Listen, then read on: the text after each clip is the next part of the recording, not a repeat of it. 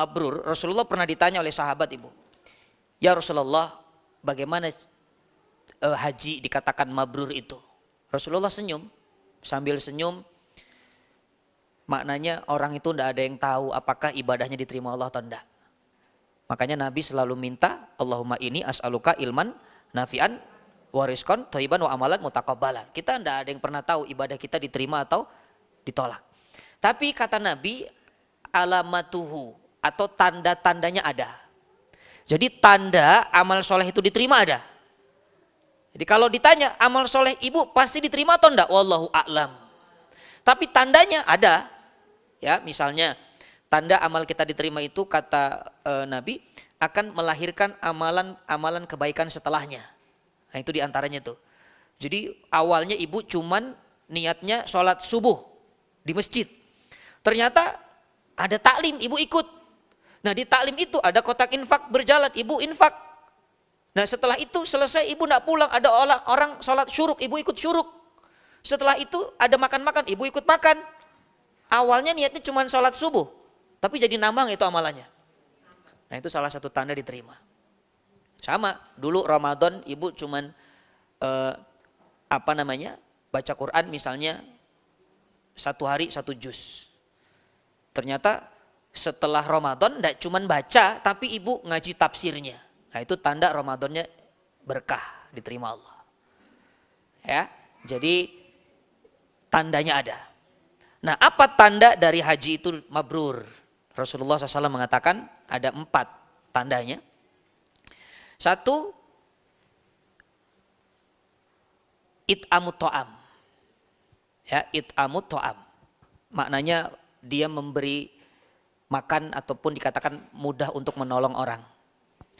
Jadi eh, orang yang mabrur ya mau dia dari haji mau tidak haji pokoknya kalau dia ingin mabrur sifatnya salah satunya adalah dia mudah atau ringan tangan untuk menolong orang. Jadi it'amut to'am secara makna memang memberikan makan. Tapi ini tidak hanya makan ibu. Apa pun ketika ada orang butuh, orang kesulitan, kita memudahkan urusannya, kita membantu, nah itu mabrur tuh. Makanya dalam Al-Quran dikatakan salah satu di antara orang yang mendustakan agama, apa kata Allah? Wayam naunal maun. Dia tidak mau itu tolong orang. Gak mau dia nolong orang. Ya, jadi sampai ulama mengatakan orang yang mabrur, mabrur kebaikannya sudah luar biasa itu kalau ada orang minjem beras itu dia sudah paham ibu, itu mah nggak minjam, itu minta Ustadz. Itu kalau di kampung itu suka ada pinjam beras dong, padahal enggak punya beras, mau minta, malu bahasanya. Pinjam, jangan ditagih ibu. Bisa dipahami nggak? Sampai ibu dulu yang paling sering hilang waktu sekolah apa? Pensil, berarti ini masih TK, masih TK. Kalau udah SD tuh pulpen ya. Nah sama, saya juga sering hilang tuh pulpen. Kalau di pesantren lebih parah lagi. Saya handuk itu sehari bisa kadang-kadang balik, kadang enggak balik. Handuk, ya eh, pakaian dalam, celana. Pokoknya kalau di pesantren jemuran di mana nanti bisa pindah ke mana. Nah orang yang mabrur atau dikatakan dia itu wayam naunal maun, dia e, mau menolong orang, hal-hal begini itu enggak usah ditagih ibu. Nanti ibu cari-cari temennya di sosial media ketemu. Ingat nggak kamu dulu waktu SD pulpen saya nggak balik. Jadi bahasanya gini, kalau ada orang yang pinjem pulpen, itu sudah kita sudah tahu sedekah. Ah, ini mah nggak bakal balik. Ya Bismillah. Sudah. Sama, ibu ada orang minjem tisu dong, kita nagih tisunya. Berapa lembar tadi? Balikin, balikin. Nah jadi ini sampai seperti ini kata ulama, orang yang mabrur dalam masalah itamu to'am, ini luar biasa. Makanya Nabi SAW sampai mengatakan kalau masak, kalau masak ibu, itu perbanyak apa? Kuah. Kasih itu tetangga, ya kan? Sampai dikatakan kasih tetangga. Loh, kenapa kuah? Kata Nabi, mohon maaf, kalau kuahnya kita ambil, isinya ikut enggak? Ikut. Kecuali ibu bolong. Itu mah kuahnya juga ndak ikut. Ya kalau kuah isinya ikut. Ustadz saya enggak bisa kasih kuah Ustadz. Kenapa? Saya masak Indomie goreng. Eh jangan. Kalau ibu kasih kuahnya itu air sisa rebusan. Ya, bisa sakit tetangga kita. Jadi sampai seperti itu Islam ibu sama tetangga itu luar biasa kasih makan. Nabi Ibrahim alaihissalam tidak pernah keluar rumah untuk uh, apa? Tidak pernah makan kecuali mencari orang. Itu Nabi Ibrahim alaihissalam. Subhanallah. Sama ibu juga kalau makan cari orang. Cuman supaya ada yang traktir Ustaz. Nah itu beda niatnya. Ya, subhanallah. Nah ini yang pertama, it amut to'am. Itu kata Nabi. Yang kedua, tibbul kalam Tibbul kalam, tibbul kalam tuh kata-katanya baik, tutur katanya tuh subhanallah tidak menyakiti orang, tidak menyinggung perasaan orang, tidak berdusta, tidak tidak menyebarkan fitnah. Nah, itu tibbul kalam. Jadi orang yang mabrur ya, pulang dari haji itu sudah berubah tutur katanya. Subhanallah, dulu sebelum haji Ustadz dia terkenal ratu gosipah. Ratu gosip sekarang tuh dia tidak mau kalau ada yang gosip, subhanallah.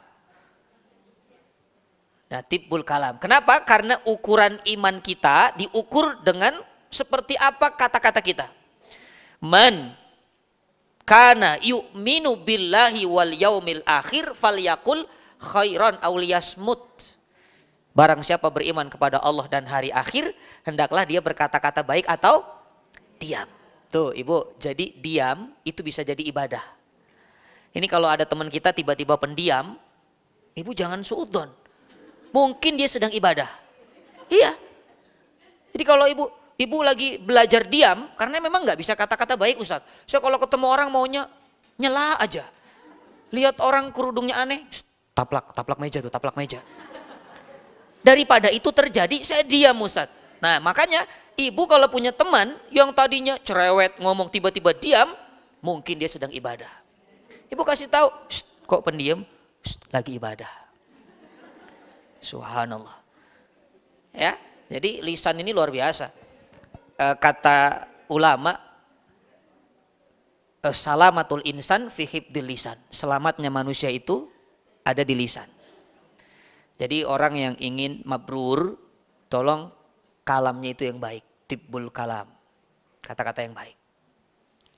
Nah itu yang keberapa ibu? Yang kedua.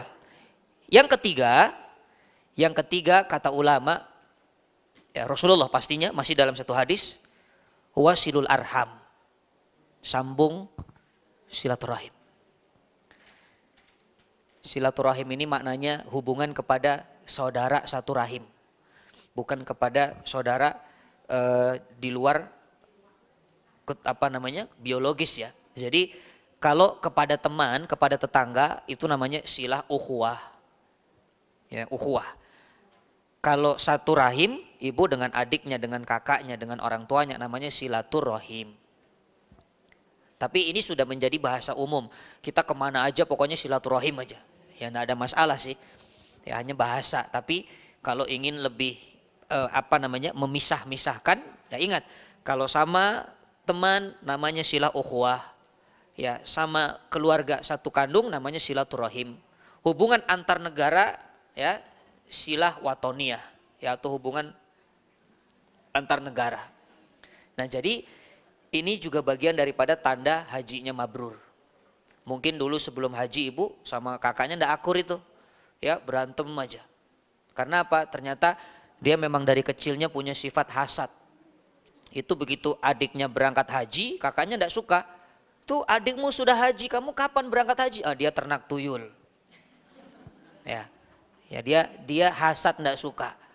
Akhirnya apa? Putus, tidak pernah komunikasi. Jadi silaturahim itu menyambung hubungan yang terputus menjadi tersambung, yang jelek jadi baik. Silaturahim itu bukan yang sudah terhubung ibu. Jadi kita kadang-kadang memaknai silaturahim itu yang sudah baik. Kalau sudah baik itu namanya bukan silaturahim, itu memang sudah sudah tersambung dengan baik. Tapi ini yang putus, misalnya lama tidak ketemu dengan uh, keluarga atau dengan uh, kakak, nggak pernah ada kontak lagi, kabar berapa tahun namanya. Nah pulang dari haji itu dicari itu dicari. Kenapa? Ingin menyambung silaturahim. Itu silaturahim. Ya, jadi ini yang ke yang ketiga. Yang keempat kata Nabi, uh, fil sallu bil laili wan nasuniyam. Dia sholat di malam hari ketika manusia itu tidur. Nah ini tanda orang yang mabrur. Sholat tahajud ibu. Sholat tahajud kapan ibu? Malam. Ya malam, kalau siang namanya duha. Ya. Jadi sholat tahajud di saat orang-orang tidur. Nah ini orang yang mabrur nih. Kalau tahajud itu yang paling bagus, yang paling bagus tahajud itu kalau ibu ingin ikut Rasulullah ya dari se se sepanjang malam itu Nabi. Ya Nabi tidur pada Isya, nanti kira-kira ada yang mengatakan jam jam 9 bangun lalu sholat sampai menjelang subuh, ada yang mengatakan dari jam 12 sampai menjelang subuh. Uh, tapi ala kulihal malam itu selama belum terbit fajar sodik Fajar sodik itu adzan subuh yang kedua. Kan ada fajar kadib. Fajar kadib itu yang adzan pertama itu. Nah itu belum fajar, jadi jangan sholat fajar. Ini kalau di Mekah saya pernah mendapati jamaah, adzan pertama, baru adzan pertama dia sholat fajar, belum. Masih fajar kadib namanya. Jadi fajar itu ada ada fajar kadib, fajar sodik, sebentar lagi ini serangan fajar. Ada tuh. Hah? Ya, bentar lagi nih ya, lagi musimnya ini, serangan fajar. Ada satu lagi fajar set boy, itu udah gak viral sekarang ya. Nah, jadi tahajud itu ibu kalau ndak bisa seperti Nabi, ya sudah ambil sepertiga malam atau dikatakan paling ujung lah supaya resiko ketiduran itu ndak ada. Kadang-kadang kalau sholat tahajud nanggung ibu, nanggung nih. Masih jam 3 selesai, subuh masih lama. Tidur, ah itu subuhnya bisa kebablasan. Makanya untuk iman-iman sekelas kita ini ambil yang ujung lah. Jadi pas tuh, begitu selesai sholat, istighfar sebentar, adan subuh, ah itu aman. Jadi itu ibu, pokoknya ciri mabrur tahajud lah ya. Tahajud ini subhanallah amalannya para nabi, amalannya para wali. Ya, bahkan apa arti tahajud ibu? Tahajud itu artinya apa? Tahajud itu tahu-tahu hajatnya terwujud. Ini kata ulama begitu. Jadi ibu kalau punya hajat, udah tahajud. Allah akan kabulkan. Bahkan sampai ada yang mengatakan, ibu kalau tahajud tujuh hari, tujuh malam itu tidak putus, ibu minta kepada Allah agar tiang depan rumah rubuh itu rubuh ibu. Saking mustajabnya itu doa tahajud. Ya, tapi mau coba silakan juga nggak apa-apa. Ini bukan hadis, ya. Nanti kalau rubuh beneran saya nggak tanggung jawab. Subhanallah. Thank you.